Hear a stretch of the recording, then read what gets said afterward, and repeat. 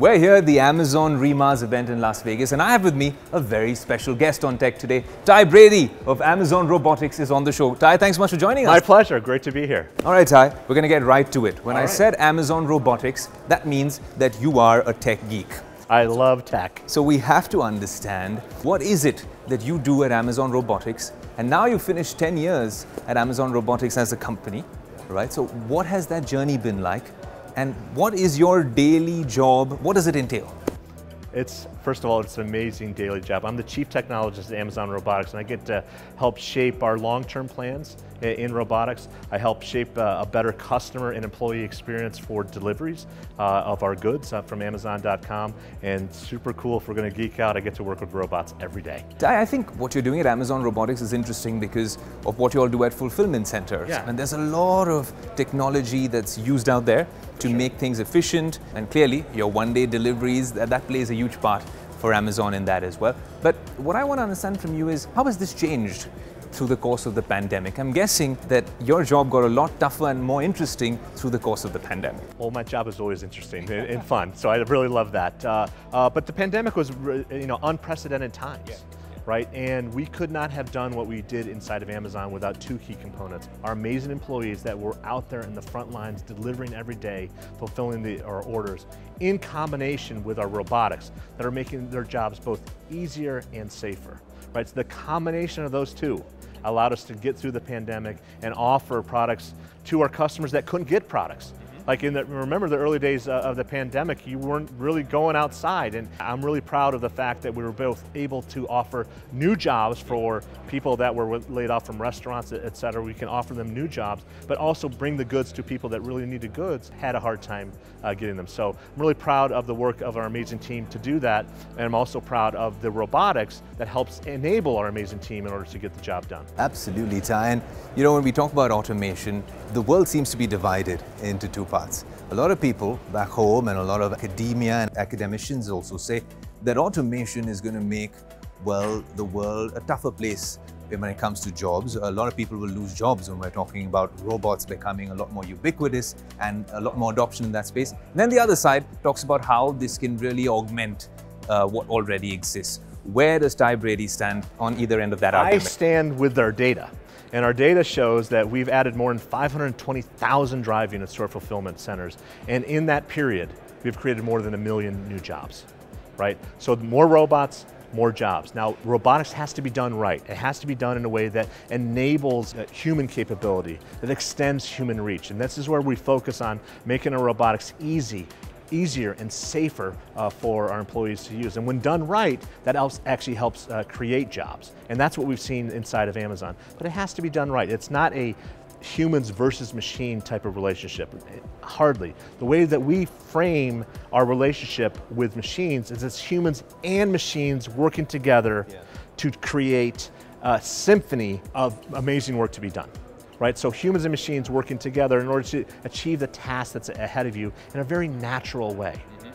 Right, so our engineers, our scientists, and they are incredible. And I am blessed to be able to work with just some of the smartest people that I've ever worked with in my entire life. They've really have helped solve this really hard problem of how can we add to the tool set of our employees, mm-hmm. and so that makes it easier and safer for them to do their job. So by that logic, this whole Armageddon scenario that's been painted by the media and by a lot of tech billionaires as well, I that's don't- going to happen. I don't see well, humans let- versus well, AI. Let's, let, let- we can look at 100 years of incredible inventions. In the past 100 years, we've had the rise of the internet, the rise of computers, really understanding physics, uh, aviation, and we see over 100 years with incredible advancements that we continually add jobs. Again, if technology is done right, where it doesn't create friction, but it actually helps people uh, do their job.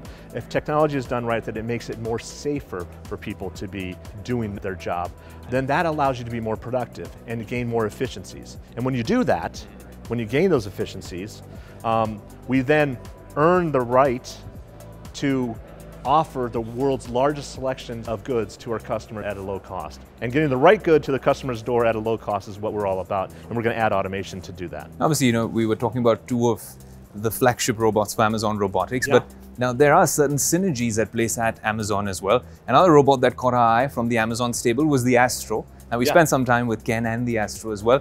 Were there a lot of synergies in terms of technology that were in place with your team and Ken's team as well for something like Astro? Yeah, we're super proud of Astro and its uh, robotics now going into the homes. To me, it warms my heart. I love that. Uh, the robotics can help us with the convenience or the courtesy of doing tasks that we haven't done before to help uh, that owner do things in ways that we're probably not even imagining yet. In the early days of Astro, I personally got to work with the team and kind of shape some of the philosophy uh, that they had. They have an amazing team of roboticists uh, as well, I'm really focused on the, the, commercial product where we're more focused on the industrial product right. of robotics. But uh, we've also shared learning. As a matter of fact, what they call the guidance system inside of Astro, we've actually shared that from the Proteus vehicle that we announced on uh, stage today, they actually share the same technology when it comes to navigating around people or crowd people. We actually got to work to, together on that. And of course, we share technologies, whether it's battery technologies or sensing technologies, computing technology, the use of AWS. We share that amongst it, but they're an amazing team. They're out uh, in, at Lab 126. Super proud of their work.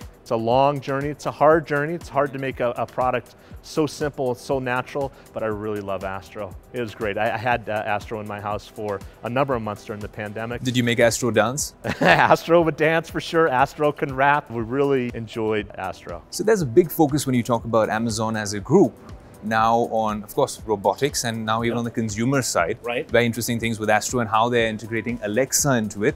And then there's this huge talk about space, and we've had a lot yeah. in Mars with yeah. space. Yeah. Is that some place as well where we could see a lot of you know your team members playing a part from the robotics side, maybe with some sort of integrations it's, there? Let's just go even one level higher. So we're really proud of the work that we've done inside our fulfillment centers. Like extremely proud of that work, uh, making for a safer uh, work environment, more productive and highly efficient uh, environment as well. And it's incredible.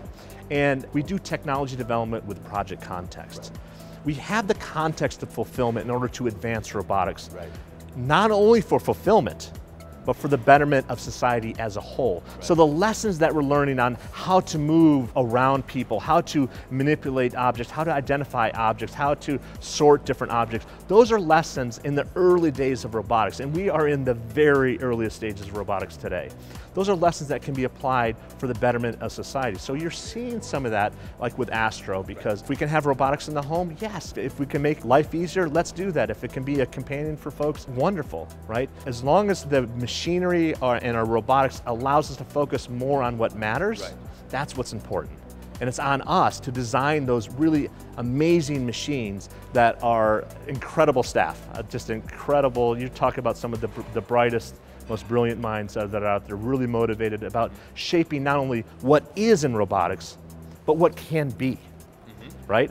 And that's the legacy that I'm really excited about because if you were in aviation in the 1930s, how you designed that airplane in the 30s and the 40s really affected the future of aviation. Or if you're in the computing industry in the 1950s, how you thought about that operating system and how you design the system has effects today of how we actually still do computing. We're in those early barnstorming days uh, today and it's a super exciting space to be in. Really great. Super exciting space to be in. We're excited about it. Now this was a fascinating conversation so I thank you for that. My pleasure. I hope the next time we meet and if we do meet, my job isn't taken away by a robot. If that will not, uh, it, that's not the way that we view it. So will, there's one thing that I'm sure of. When, when, we meet, we will still connect with one another. We hope that our coffee is served by a robot. yeah. Thank you so much. My pleasure. Cheers. Thank Thanks. You. If you like the video, do like, comment, share and subscribe.